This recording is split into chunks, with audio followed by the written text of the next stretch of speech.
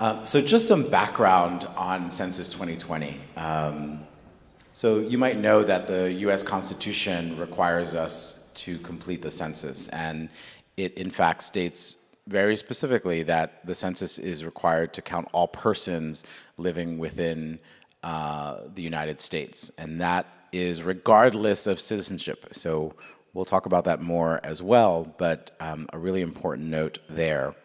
So what does census actually do for us?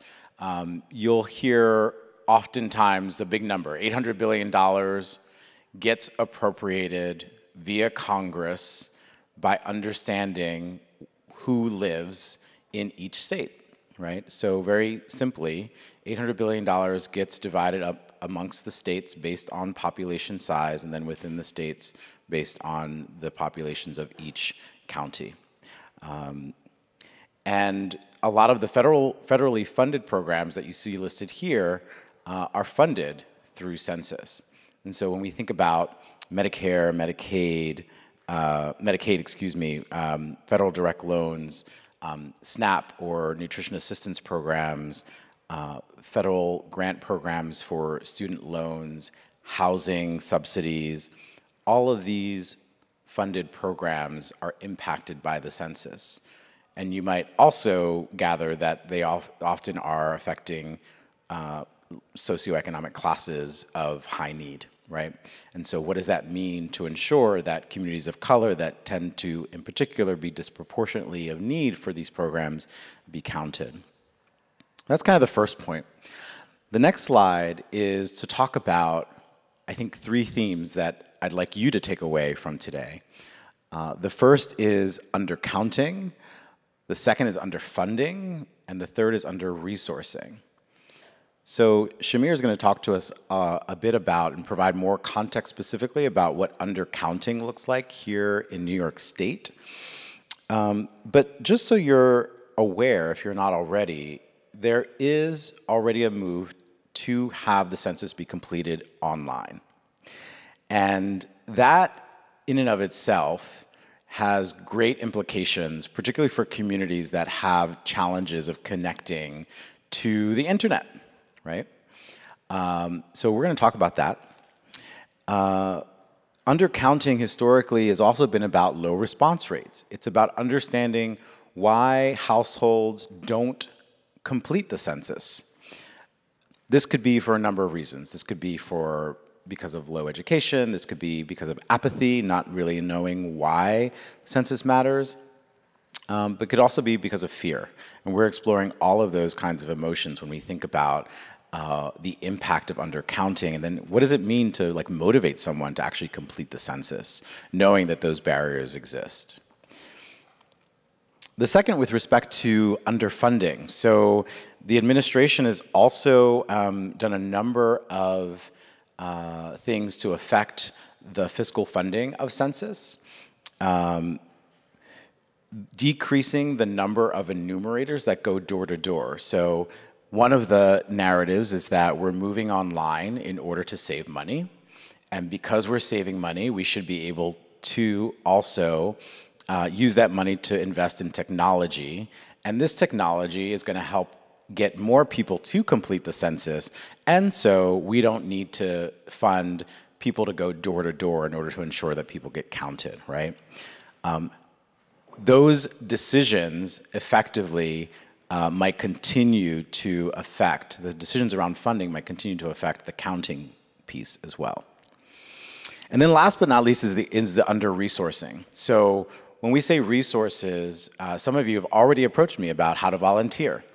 Um, you could actually apply to become an, an enumerator. Um, so we can talk about that when it comes to uh, the fact that about a half a million enumerators will be hired, less than what have been in the past.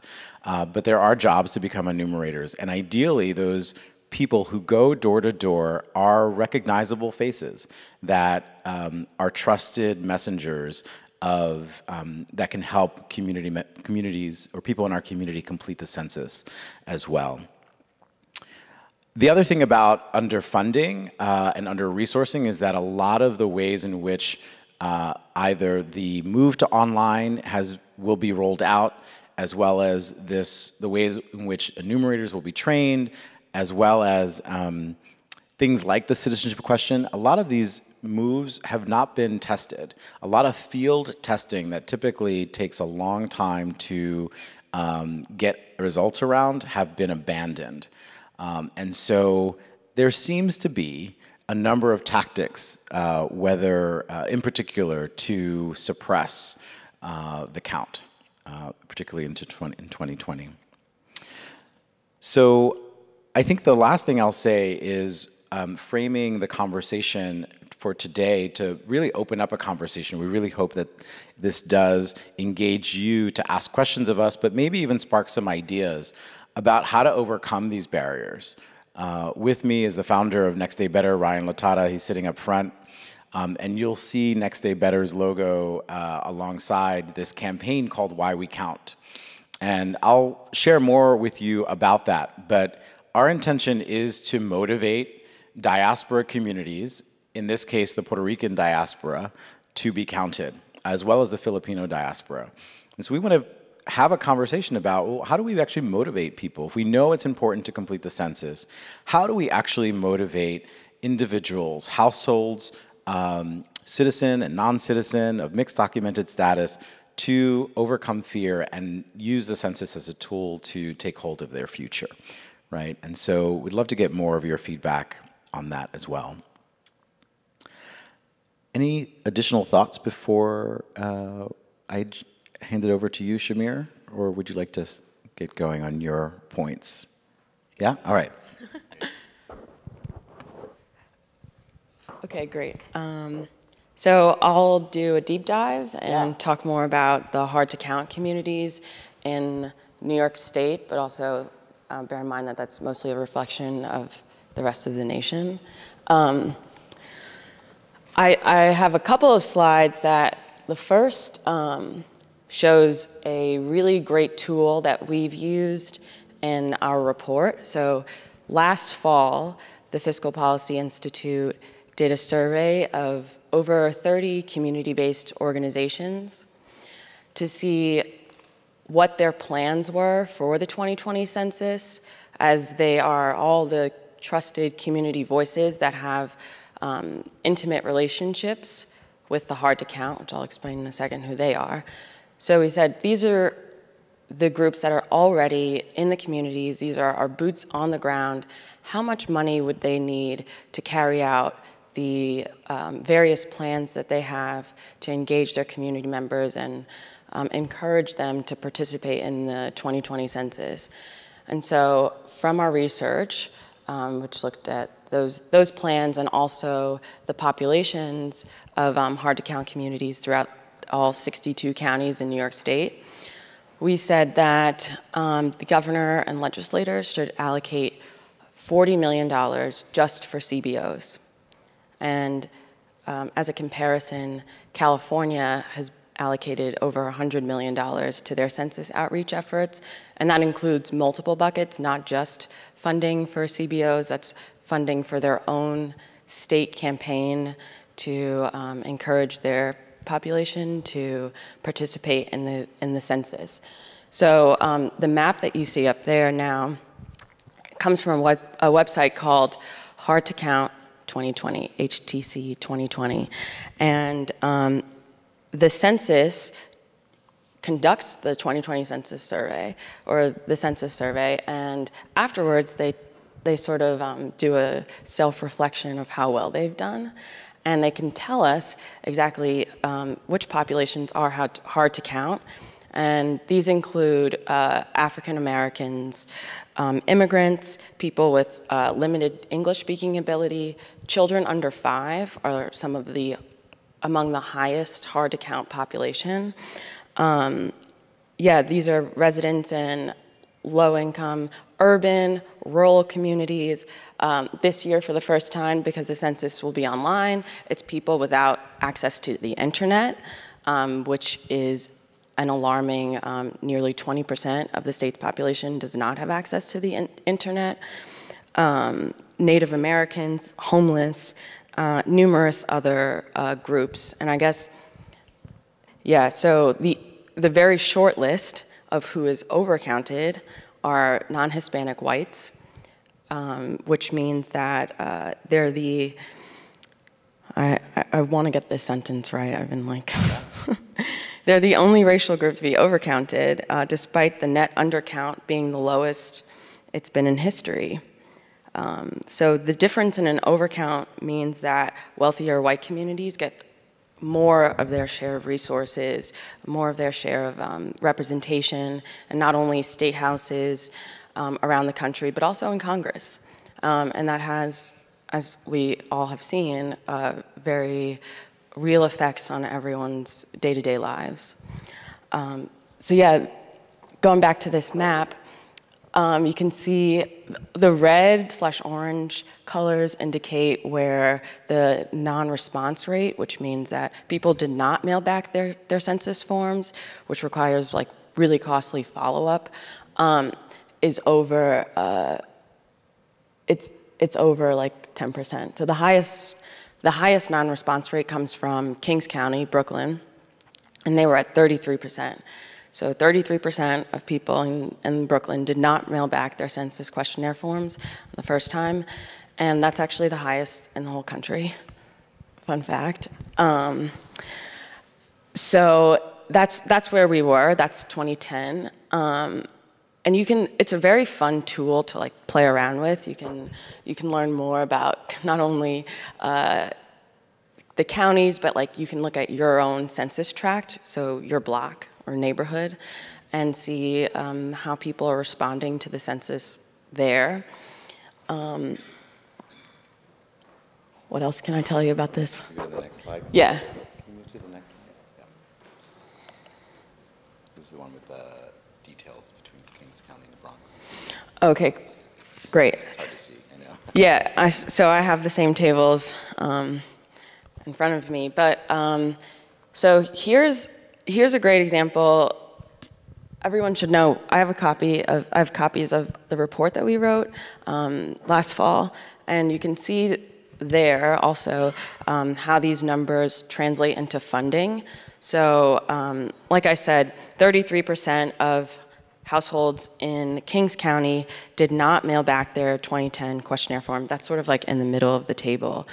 And you can see that in the Bronx, there is, um, we can look at the breakdown of their population. So 19% of the population is Hispanic, 35% African American, 13% Asian. 21% of um, households in the Bronx don't have access to the internet.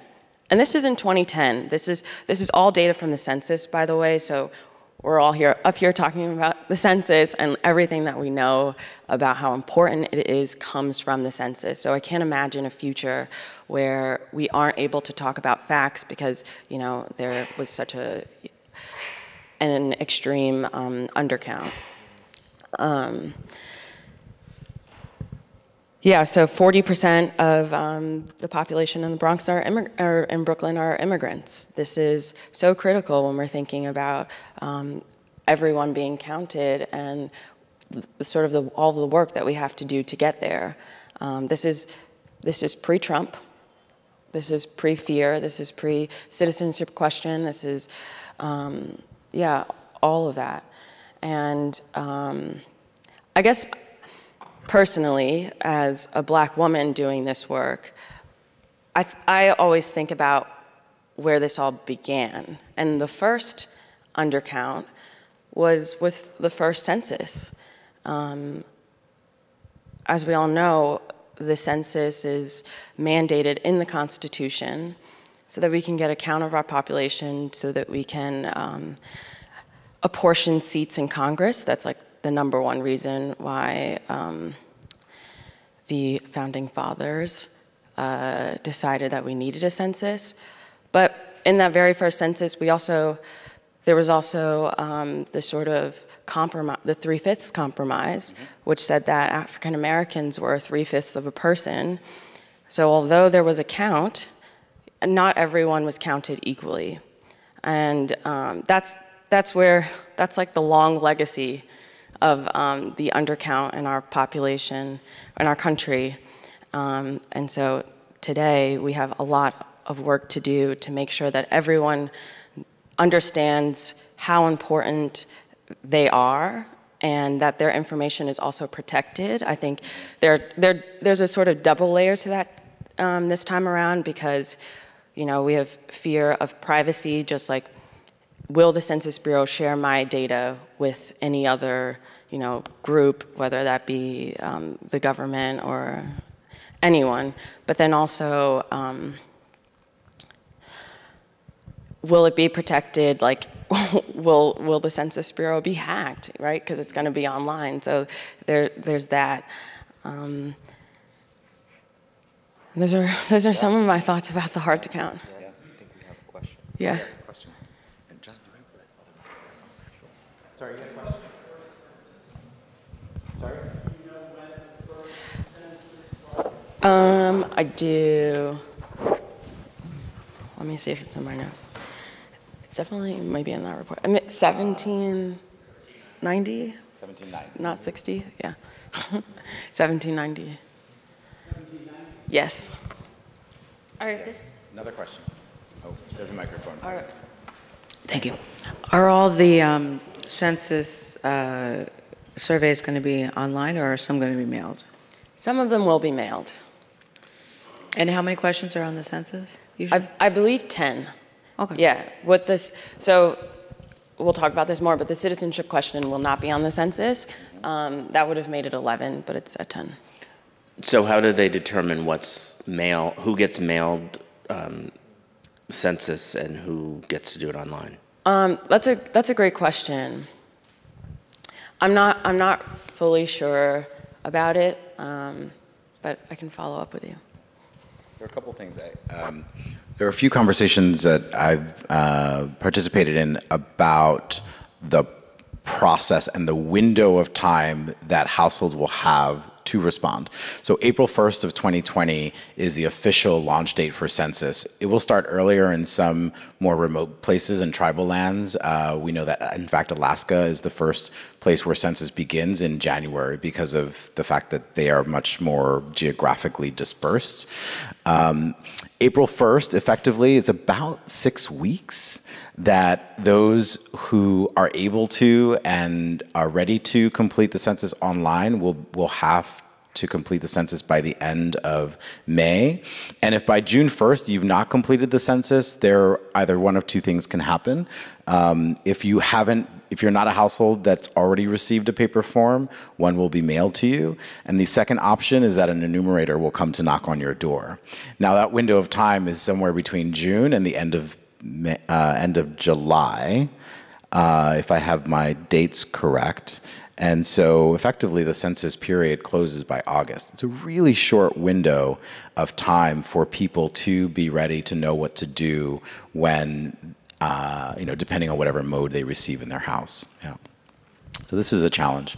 is this okay? Uh, yeah, one more question. So I know you said that, I think it was 30% of Kings County did not respond to the 2020. I'm curious how we have that data if they didn't respond. Like, where does that, where does that come from? Yeah, so um, it, it's a part of the Census Bureau's um, sort of like self-reflection that I talked about. They, it's a, it's a statistical analysis, so I cannot explain how they do it exactly, but they do release a report after um, every census count um, that goes and digs in deep and to say like this is where we messed up and um, this is by how much as well. The the non-response rates you can you can sort of begin to think about like the administration administration data that we'll have on on um, populations um, to be able to say X amount of people didn't respond. Oh, is there another question? Oh, two more questions. Yeah, one over here.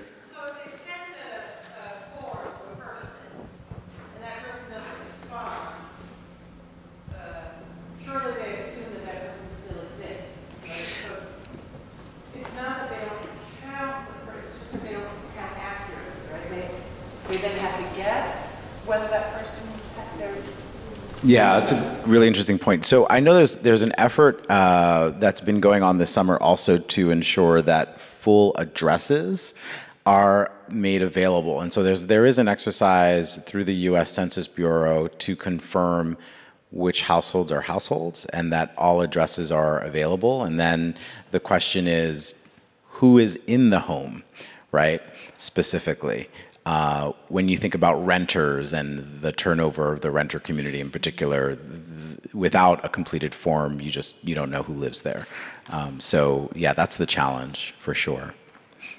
Yes.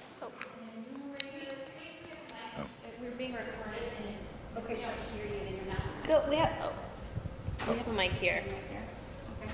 Um, how are people notified on the internet that they're going to receive this census um, documentation? Is it via email or do they get a letter and then they have to go on the internet? And does it have to be in a home computer? Can they go to the library?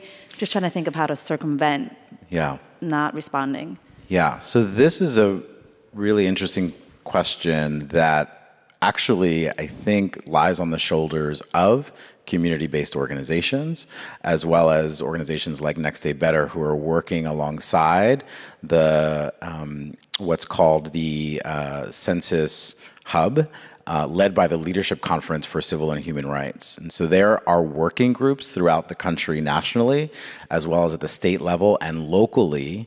There are what are called complete count commissions who are uh, being funded.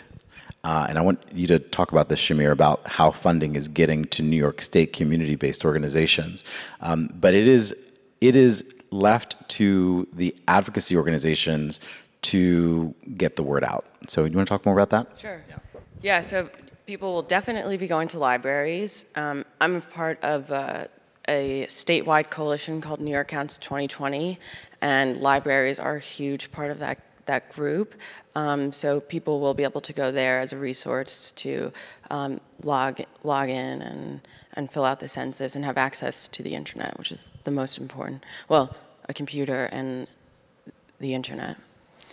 Um, so I guess going back to funding. Yeah. Um, so we wrote this report in, in uh, the fall of last year after conducting the survey, and then we went around, went around the state rallying with Jorge and many other folks saying we need, we need funding for this in the budget. And um, this is why. So we were with the community-based organizations and faith groups, uh, churches, um, mosques, everything, everyone really, um, saying, here's what we need to conduct door-to-door canvassing, community forums just like this, where we're talking about how important the census is um, and why everyone should mail back their forms or fill it out online. And in the end, Governor Cuomo allocated 20 million in the state budget to the census outreach efforts. And um, he also set up a commission to uh, sort of investigate what, what's happening around the state around the census and how much groups would need. So unfortunately, um, they haven't, the commission hasn't released their report yet, but it would, it's, and it's not really clear how that money will be distributed, like how much of that will go to CBOs. Um, but there's 20 million in the state budget, and that's a win. Um, the second part of, of resources and, and, funding is New York City. And uh, half of the to count population in New York State lives in New York City. So um, thankfully, the city council and mayor have allocated um, 26 million to the census. And we know that I think um, around 15 million will be going to community-based organizations, which is also a win. So in, in total, we have about 46 million um, throughout the state going to census outreach efforts. And that's, that's actually really exciting. It's a step in the right direction. Um, and, you know, I'm not sure that many states, well, it'd be, it'd be better if more states were, were this proactive. At this point, we're all behind the game if we haven't allocated money and budgets yet. But um, there's still time, and we can do this. um, I'd like to, if there aren't any questions right now, just to invite Jonathan into the conversation as well to talk about the role of faith communities in helping to get out the count. And so, one of the, uh, just to point specifically also to the county of the Bronx. Uh, Jonathan, if you could speak to kind of what what are you hearing about the census? Uh, are there conversations about it, and what is your view about what we might be able to do? Well, thank you very much, uh, Jorge and Shamier, uh, for outlining, I think, very clearly uh, what is really at stake and thinking about what really is the moral imperative driving uh, the need to talk about census in a way that is engaging. And one of the things we're seeing is democracy uh, more and more perilously is reflecting less of ourselves uh, so that we look at democracy and we don't see ourselves to the extent that we're oppressed. Uh, so whether it's a certain part of our identity um, that this country or this nation um, doesn't necessarily want to include, we do not see ourselves reflected from it. And what has happened is with the citizenship question um, as a, a, weaponized attempt from the administration, um, the executive branch um, of our government, um, trying bit by bit uh, time by time uh, to see ourselves less reflected from this democracy. And how do faith communities and organizations working with faith communities view their own responsibility in relation to this erasure of not only identities and voices, uh, but particularly those that we're seeing are uh, from diasporic communities. Um, we're seeing this, uh, there's an all, uh, all out assault it feels on many Latinx communities, um, whether it is through the organic churning of violent rhetoric that is literally erasing lives, or the uh, colonization of an island where I'm from, where we do not have representation, um, even though we do pay federal taxes, even though uh, we do participate in an economy that doesn't give to us, and what does the census mean for diasporic communities? So, for example, in Puerto Rico, you have around 2.5 million um, people living on an island that could vote in the general election but doesn't vote in primaries. Um, what's another way of those voices being represented when we have a large diaspora, probably 4.5 million um, individuals that live throughout the United States? Um, how do those communities uh, view themselves as representing their interest as it relates to the federal government here? Um, how do we uh, have ourselves count? I know that part of the efforts of, of Next Day is also thinking about Filipino communities and diasporic communities, as mentioned. Um, I think a great term by Ryan, we're cousins in colonialism. Um, in the sense that colonization I think is a, a dynamic that faith communities are wrestling with more and more. Understanding that really what colonization is, is trying to make you feel part of an alienated government uh, that doesn't respond to your needs. And to the extent that you assimilate to it um, by adopting what the colonizer wants your identity to be, which is American pie, patriotic. Let's make sure that no criticism um, against uh, this ideal um, is, is supported uh, so that even as someone in the census, when I look at how I'm representing myself and I look at the ethnicity and the race, and I identify as a uh, non white or a white Hispanic American, I mean, the, the, the complexities are so nuanced and so challenging and it makes you want to disengage, frankly, from the process. Um, you would think that the census, because of its import, would generate uh, so much more enthusiasm. But in reality, the same way that there was a massive attempt to disengage the population four years ago, or three years ago, rather, in the general election, um, the census, that happens in a very different way. And as we see the obstructionism that's happening with uh, the move entirely online mirrors what happens, let's say, with voting laws, where you see in communities the shutting down of DMVs um, in populations that are primarily impacted low income, uh, black and brown in rural areas that don't have readily access to a DMV center. We see that being another tactic um, in the arsenal and the strategy of disenfranchising and erasing uh, the voices and the identities of individuals. So, how do faith communities, whether it's here, uh, Middle Collegiate, whether it's the interfaith community here in New York City, and throughout, I would say, the country, speak in clear moral terms about A, why it's important that we see ourselves reflected in the processes of our democracy. Um, that is critically important. Allay some of the fears and the concerns um, that may arise um, from, you know, we're anxious about surveillance. I mean, we're entering into a society um, where we hear about facial recognition um, really uh, cementing control over you by social networks who are unaccountable um, to any government because of lack of regulation. It is a a, a like a cacophony of, of, of frustration and, and cynicism. And why is it that it matters that we count?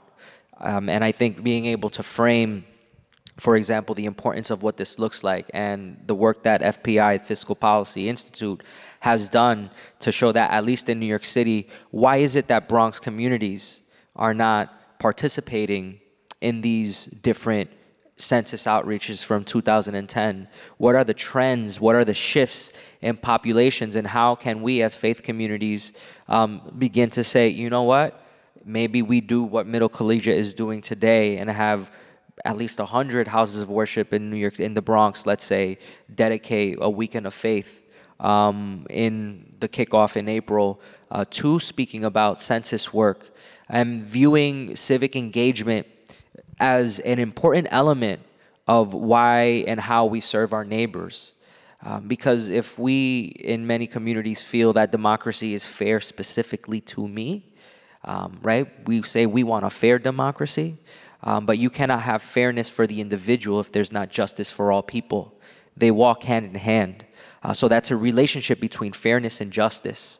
Uh, so that if my population, my sliver of my identity receives the resources that we need, there's a moral argument that needs to be made that that's good that it's fair to you, but justice for all looks like this. And it looks like ensuring that every community, in spite of where you're located, either geographically or what your ethnicity is, that you are represented and counted here. Because this form of colonialism, um, which is this uh, like fracture of one's identity to the government and to one's fellow neighbor in society. And I even have trouble now speaking about our citizen duty because we've seen how citizenship has been weaponized as a tool of exclusion, even here as well.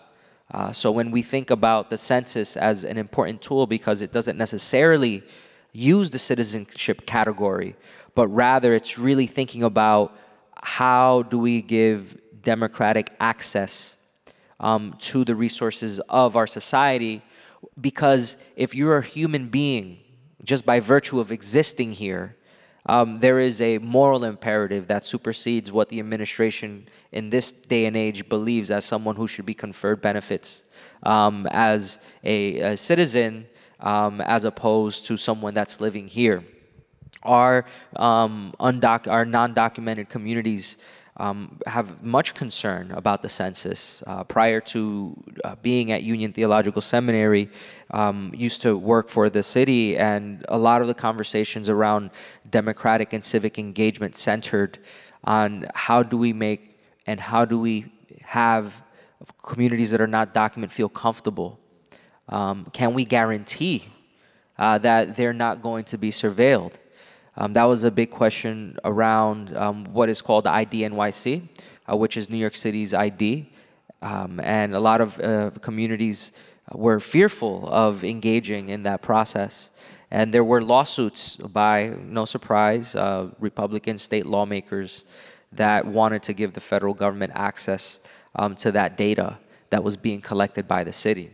So it's a tightrope. Um, it is a conflict between pushing individuals to take a civic action like enrolling and making sure that one is counted in the census, but at the same time, allaying those fears And how do we speak to communities in a way that we're not recolonizing? Uh, because oftentimes, a lot of community organizations or a lot of groups, in order to receive the funding um, uh, to do this type of work, um, don't think carefully or with nuance. And that's part of the problem with the nonprofit industrial complex that has a very close relationship uh, with obtaining resources without demonstrating nuanced, targeted impact um, that acknowledges the, the, the, the different uh, instances of the community. So I think that is uh, key for us to uh, see the moral um, imperatives around why census work is important and how faith communities could definitely participate in this way. We have two questions up front.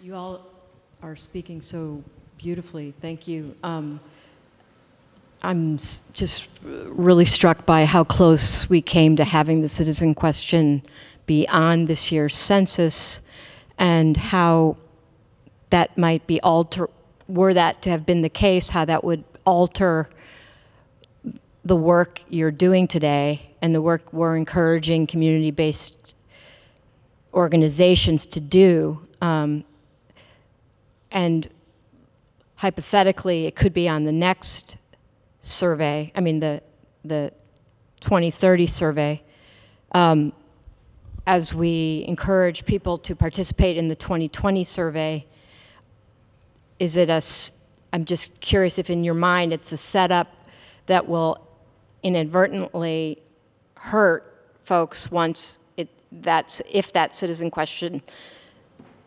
succeeds in being on a future survey. Does, So, did you want to say something? So, um, I can speak to a couple points around that. First is we do think the damage has been done, right? That the fear has been stoked in that we have an administration that is gathering people up and essentially effectively wanting to target undocumented communities. So this is a really big question for an organization like the one Ryan and I are working on together to to overcome that fear, right? Um, so we do think that the damage has been done, and so part of the question, uh, you know, what I what I really appreciate about both voices here is that Shamier is helping us understand the true cost of outreach, right? That it really requires every one of us to participate and mobilize and get comfortable about not just the importance of the civic duty, but the moral imperative that was what Jonathan is telling us, right? And how do we how do we um, use this as a tool to to take hold of our future? Um, the second, which I, I I would need to learn more about, also though, is that there is an executive order that was um, set or is being drafted that would uh, essentially set forward the citizenship question in the 2030 census. What that means mm, in you know in logistical terms and how the U.S. Census Bureau would adopt that in the in the next decennial, we don't know. But at least for now, we know that it's not being included.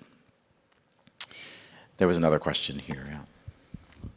Have you thought about reaching out to schools, especially in like Kings County in the South Bronx, that could host something like this for the parents, um, being that that's pretty much their lifeline to the rest of the community? Like the PTA is more, I guess, intimately involved with families um, and can provide some sort of guidance and resources, you know, about the consensus.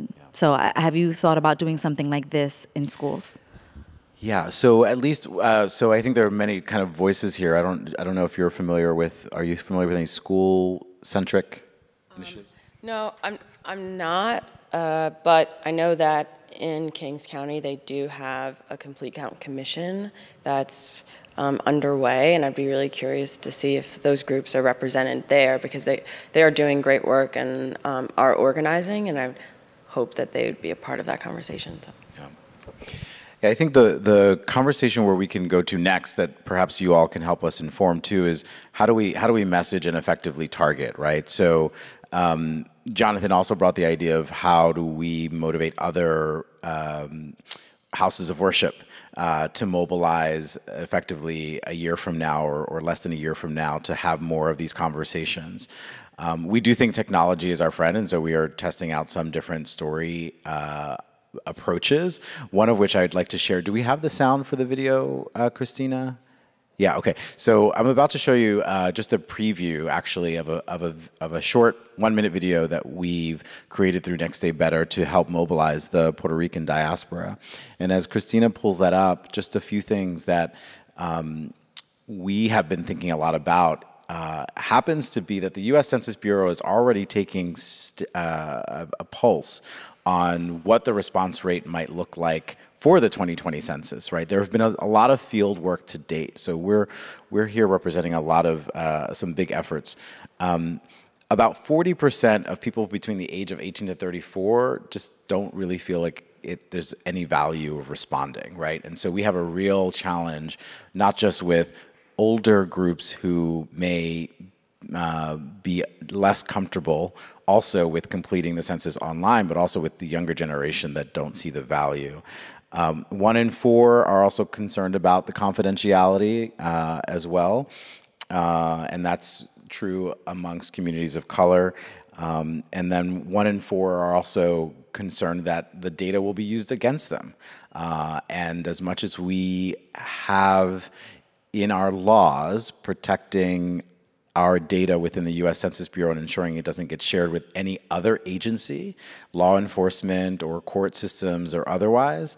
Um, there is historical precedence, and I think a, a uh, generation of people that still uh, see moments in history like the Japanese internment camps uh, and how the US Census data was used to uh, round up those families, right? So this is not too far from our own collective uh, memories, uh, as well as the level of trust with federal and state governments, right? So we have a, a, a high, uh, significant number of barriers to try and overcome, but the opportunity that we have collectively uh, trying to be more targeted is to think about communities like the Puerto Rican diaspora. Uh, and so we have been really uh, motivated by what we're seeing as an awakening on the island and within the diaspora. And so let me share with you this uh, short video and then uh, get, get your thoughts on what you think about it. Oye, mis puertorriqueños, mis hermanas y hermanos, mi gente on the island, en nuestra isla, el Boriquen. New Yorkers and Boricuas across the land. This is why we count. Our numbers shape our future for building an island stronger than Hurricane Maria, for dignified jobs for mommy and papi, for the affordable health care that abuelo and abuela need, for our Afro Taino ancestry, for love and livable communities for the next generation. Contamos. We count. Take the Census 2020 pledge at whywecount.org.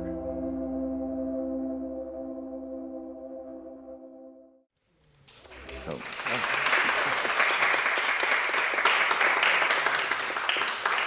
I, I wasn't expecting applause, but thank you. um, so that's great that you, you feel so moved by by this. This is just one example of what Next Day Better is looking to do as a result of a grant of which uh, Middle Church will in fact be a fiscal sponsor for. So we're excited to begin this work. Um, whywecount.org uh, hasn't officially launched yet, so this is a preview of what's to come. But the conversation we're having is that we believe we have a crisis of imagination. Uh, we are challenged by helping our communities imagine what it means to be funded, right? The statistics are what they are. The Constitution gives us the ability to count in the way that it does, but how we um, change minds and move people to complete the census is a whole other challenge.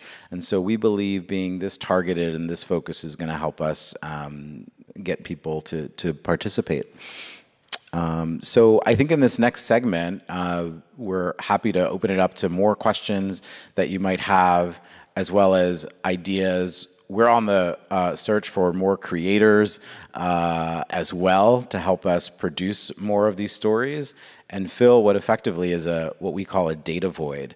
Uh, so that when we search for census, we start to see our own stories reflected uh, specifically. So, yeah. Questions? Yeah. Are undocumented or people with not without papers are they asked to fill in the census? Are they Yes. counted? So so yes. Um, in Spanish? In particular, in Brooklyn, we need. It will be available in multiple languages, uh, as, in particular, and online. Um, and in fact, we know of many agencies uh, through so the so the the U.S. Census Bureau initiated a fairly significant request for proposals to agencies across the nation, and so we are working alongside uh, agencies uh, that are translating uh, documents for training purposes, uh, as well as to help guide those that complete the census. Shamier mentioned that uh, libraries are going to be a particular value to um, for technical assistance purposes, and so those those centers will be will have some of those resources as well. Um, but we need a lot of volunteers, and we know that that's going to be a particular effort going into the spring.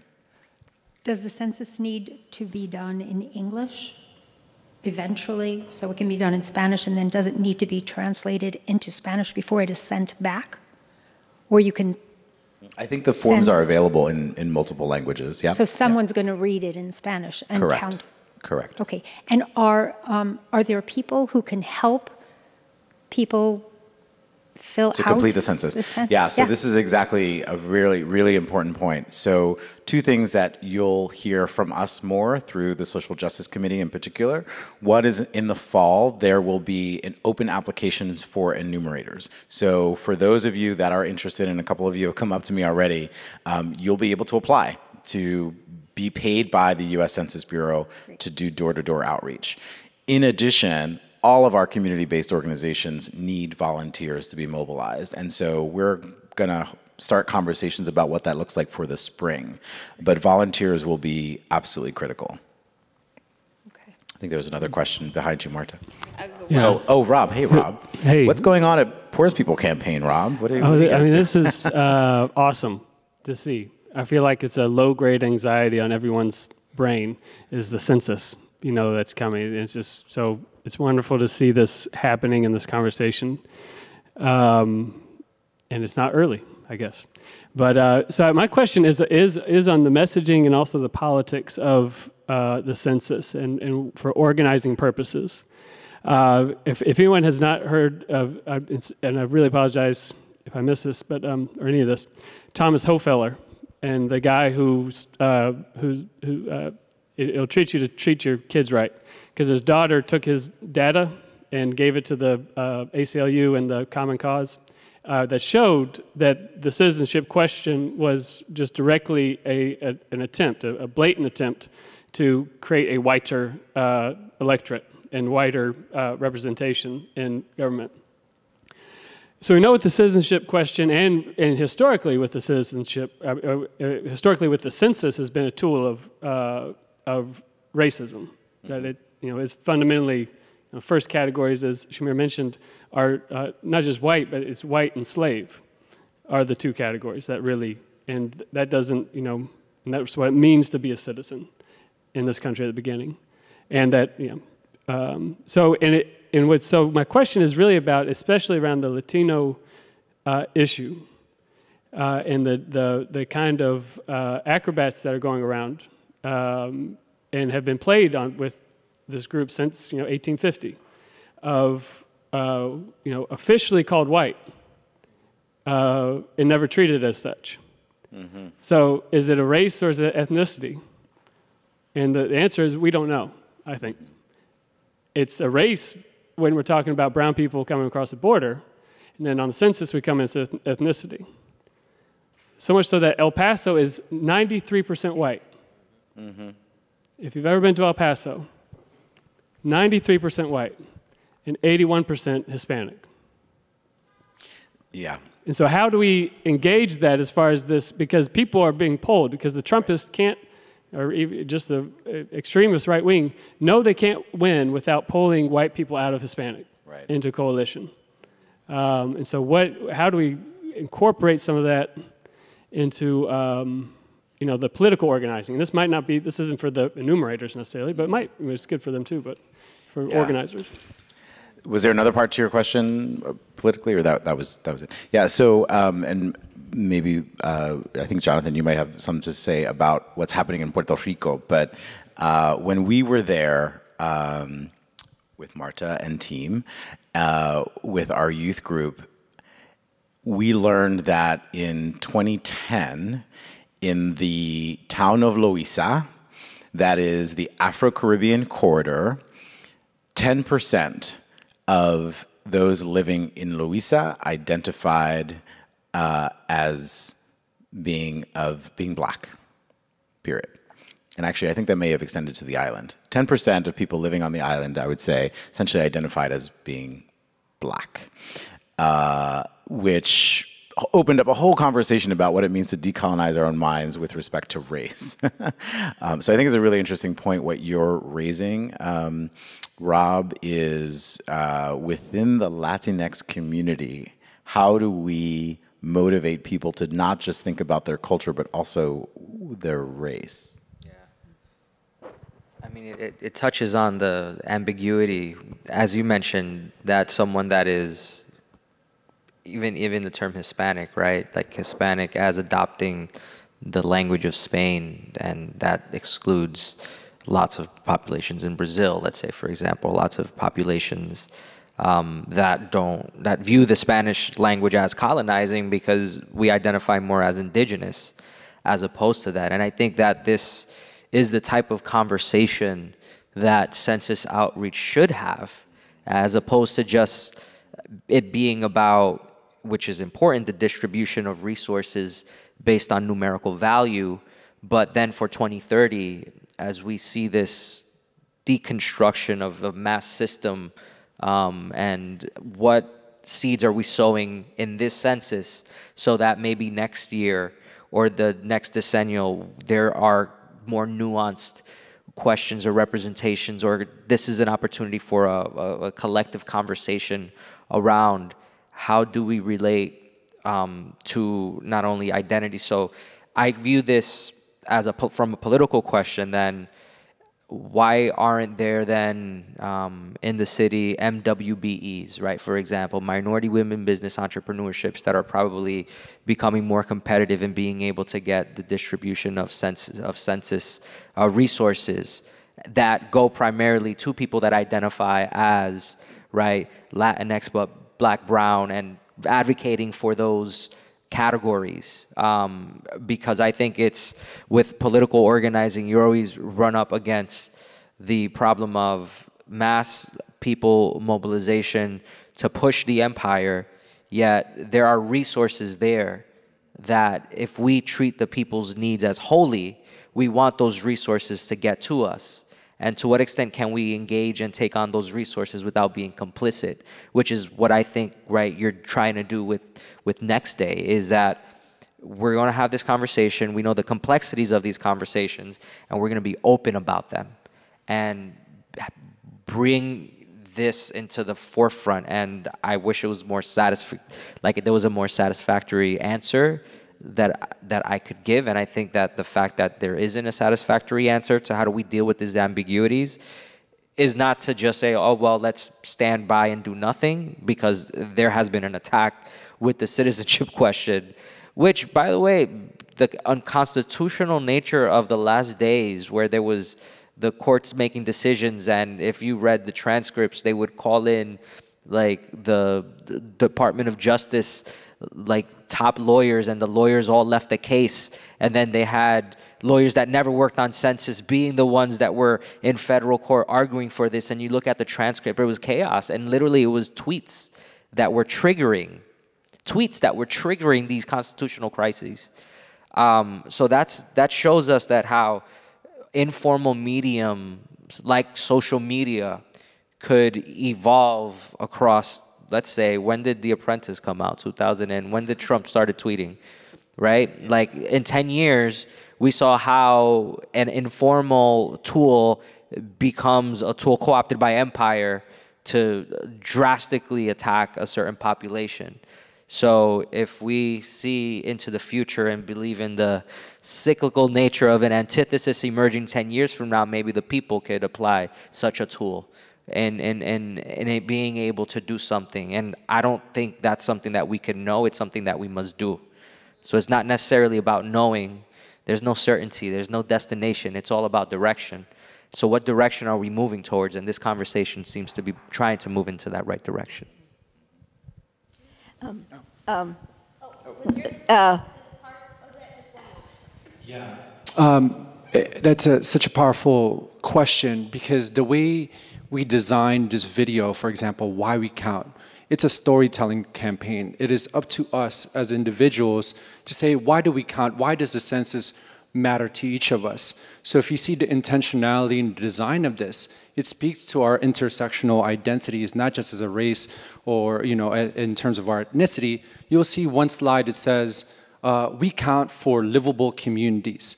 And you will notice that we featured uh, a gay uh, couple, and we are advocating for, uh, for Puerto Rican LGBT folks to complete the census so that they create livable communities for themselves.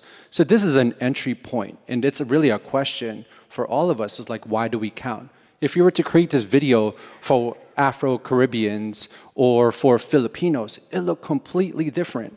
You know, I'm Filipino, American, entrepreneur, immigrant, and we are the largest undocumented group in Alaska, Hawaii, Guam, and like, how does this particular story look like in that intersectional sense?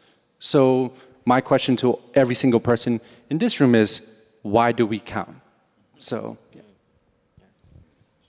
Um, the, the only way you get counted in the census is through filling out the form. You don't use Social Security, you don't use draft records, you don't use school records, you don't use um, all the things that in our society that we keep count of, right? Is that true? Yes. Yeah, and why is that? Because of confidentiality? Because if you really want an accurate count, I would think that it would be better to call Social Security, draft records, school records, um, right. birth records, um, you know, all those kinds of things right. would really give you a count. But you want more than a count, I guess, right? So what I can say about that is the U.S. Census Bureau's mandate is to operate independently from every other federal agency. So because of the mandate under the Constitution, the U.S. Census Bureau exists for the sole purpose of an accurate count of its population. And it is not to share its information, nor are other agencies allowed to share the data that they have. Yeah. They, they, uh, do they coordinate? Maybe for est estimation purposes, but legally, there's no sharing of data. Yeah, yeah. There is no sharing of data, at least legally. If you have 10 million for Social Security and only 5 million registered census, your count is not is more accurate with Social Security than it is with. Right. Um, yeah, you're right to point out that there are other sources of data that can help us estimate populations. Uh, in the interim of the decennial census, there's what's called the American Con Community Survey, which does also adjust for interim census uh, enumerations. So, but that also is through the U.S. Census Bureau. Uh, and the other thing I'll say is that the census data is also largely used by business uh, for all sorts of purposes, projecting revenue, potential opportunities, segmenting audiences. So, so you know, from multiple perspectives, it's the U.S. Census Bureau data only that gets used for that purpose. Yeah. Uh, there's a question. Oh, yeah. I have a two or three part question. I throw it all at you at once. Okay. We'll try. And the first was I, I might have missed this, but uh, if if in the, the percentage that you said that uh, is missing from the Kings County census, the, the people that didn't respond, if if you know the racial breakdown of that, and uh, I'm, I'm interested in knowing the possible relevance of this issue, of the census issue, to gentrification. And in where I where I live, there's a a lot of anxiety among the, especially among the Latinx community about uh, about that, about the shrinking of their community and and uh, representation in government. Uh, Was there a third part of the question?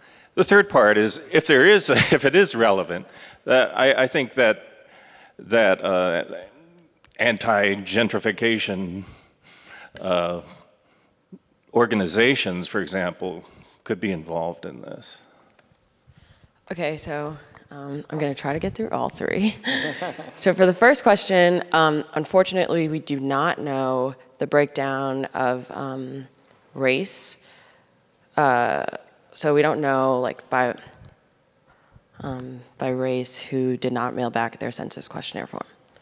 So sorry, but we can um, look at you know that hard to count 2020 website and the map, and so you can see uh, where those um, non-response non-response rates are highest, and you can look at their populations there and sort of surmise um, who we're talking about. So that's the best we can do for now. Um, and all of that also comes from the Census Bureau. Uh, I think the second part of your question about um, how the count will impact gentrification, or um, I'll, I'll, give you my response to what I, I think I heard. Um, so I think this will be real. This this next um, census count result will be really interesting because it will be the first time since 2010 we'll get to see how communities are changing. So for example, I'm from Harlem, and in 2010 that was the first time our community um, well, since it was the first time that Harlem had a population where the African American community was less than the majority since 19, I don't know, 30, I think. So it'll give you a, a sense of, um, you know, if, if, they're, if they're neighborhoods that are being gentrified, you can see by who. And also, um, you can see where people are moving to, to. So right now, they're sort of, um, in the country, there's a shift of African Americans moving from northern cities into the south. That's happening, people sort of migrating from New York um, to Georgia, Texas, all these places, and Chicago also the same shift is, we're seeing the same shifts. So I think um, when it, when it comes to sort of housing and gentrification and all of these issues, it's just another way to demonstrate how important the census data is and how many how much we can learn from it um, and how it's used not only for population counts and, and apportionment of, of seats in Congress, but sort of what Jorge was talking about for businesses and universities and governments and city planning, where we're, where we're thinking about opening schools, um, how all of these things, it's like, it's literally, um, the basis of most of our society. So um, that, that's my response to that part of your question. Um, and then I can't remember the last yeah, advocacy groups. Are you working with any advocacy groups on your So most of the groups that receive, that are advocacy groups, the way they're funded, it's, it's, it's very interesting, especially in the post-Trump era. There's been a lot of money going towards um, mobilizing communities on, let's say, immigration resources. So um, making sure that uh, there's a lot of activity in state legislatures on, let's say, driver's license for all, something recent we've seen, know your rights campaigns. Um, and a lot of those organizations I've said, I've seen haven't really engaged deeply uh, with uh, the census. Um, so I think there is a disconnect between the because it's a lot easier to fund and get funders for a priority that they care about that's going to be relevant in the state legislature um, for the next year or two as opposed to a decennial census. Um, and it is, I think, part of the issue of a lot of the world in activism, um, where we see that the issues that get funded are those that are in a media cycle um, and those that are able to deal with I wouldn't say surface level because a lot of the things that pass, like rent reform recently here in New York State or the immigration question, um, they deal with a lot of harms that have been caused. Uh, but is there a structural reconstitution of the way our society works? And that doesn't get funded as much. And the census is that. Uh, so that is the, the, the, the, challenge. And part of what I think is interesting, at least in the Puerto Rico context, briefly, um, is we recently had a revolution. Um, a million people, a third of, and it's part one of many. So there, there needs to be several. Um, so what does that, how does that impact uh, political consciousness of individuals that are looking now at deep issues? What was interesting is that there's three different parties in Puerto Rico, and people that were protesting didn't view this as a political party movement. It was really a movement over a corrupt um, crony consultant class by a working, like, poor class. And it literally is the one versus 99, and we saw that. So now, how do we see that consciousness? translate to diasporic communities here that have recently left? And will they see the, and I think that's one of the issues you're trying to address, will they view the census as a, a good government restructuring uh, process to engage? Um, so I think a lot of things get hyped very much. Um, so how do we bring the hype to the structure and not just to the harm um, that we're trying to stop? I have time for two, two more questions. questions. Okay. I have two questions. Um, it these are pretty short. Uh, first is uh, are all children counted, uh, including babies? Yes, all and beings. The, and the second um, question is uh, how does it does it say biracial, triracial? If my son is mixed, is he counted as black or yeah. is he counted as mixed or? I really appreciate what you raised here, uh, Rob, and I think it's going to get us thinking about how we mobilize communities of people to identify all of their identities, if I could use those words together. But yeah, like why not list every racial uh, aspect? You know, I could I could say I am Latino and or mixed and uh, Puerto Rican and Taino and the the census has opened up. Maybe you can speak more intelligently to the to the way we classify ourselves. Well, I don't know about more intelligently, but um, yeah. So you, you, can definitely indicate on the census questionnaire um, that you are mixed, and you can say how um, at whichever level of detail you would like to. Um, this is all like really complicated because these race categories are also made up. it's like really frustrating, I, am I'm, I'm sure, to figure that out. Um, yeah, so you can definitely say that, and we also know this information um, about ourselves from from the census. So, like right now, we could we could go go in and check out a table of the breakdown of New Yorkers by race, and it could tell tell us the exact number of people that I. I guess this is just a reflection of again how people identify themselves. So there's a bit of decolonizing the mind that goes into this, um, but it's also about identity, and it's really complicated. So we cannot, you know, tell someone what they are. It's a reflection of how they feel about themselves. Um, one thing I'll I'll sort of add that's interesting.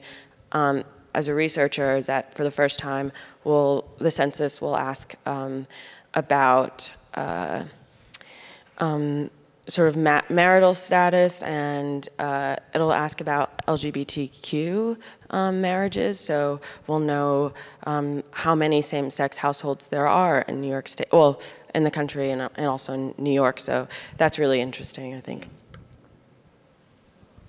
One more question. So is it safe to assume that the only data that the Census Bureau will share uh, with other agencies or businesses, I think you even mentioned, uh, would be demographic data, right? Nothing personal. In other words, you know. Um, yeah, so it's demographic. I'm trying to. I'm. I'm trying to think of. There. Yeah, it's all. s-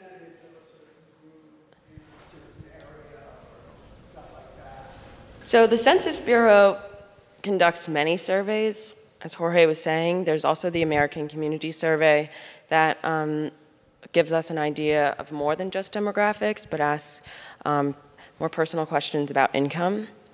And uh, so we know we can say things about the economic status of the population by race, gender, age. Um, so there's that, and I'm I'm not 100% sure if that if that question is asked on this on this form. So I can follow up with you though. Very quick question. Census data does eventually become public. Do you know what the holdback period is? No, I don't. I don't know. I'm not sure, but it's really it's really fast because these there there are one year estimates that come out every single year, so it's a smaller sample size, um, and they ask similar questions again. So we sort of have we can take a pulse, but it's not as like um, it's not as comprehensive as the 10-year decennial census where everyone's counted all at once. But I'm pretty sure it would come out either, that's another one I'll follow up on so I can give you a date. 1940 is publicly available. You can read it. I don't know if anything after that is. Not, not yet, because people born in 1950, it's for personal, for privacy reasons, census records at a household level are not released beyond 1940 yet, I think. Yeah. Right. And so, No, I'm saying I, I don't know if that's the criteria, if there's just a, a general holdback period. oh, yeah. Oh, I, I sort of, I guess I misunderstood. You're talking about holdback period on the release of census records at a household level. Sorry, I thought you meant the, the actual data. That's what I thought, Yeah. Yeah, I don't know anything about that. We don't know anything about that. Yeah. Sorry. Okay. So, seven years. Seven zero. Okay.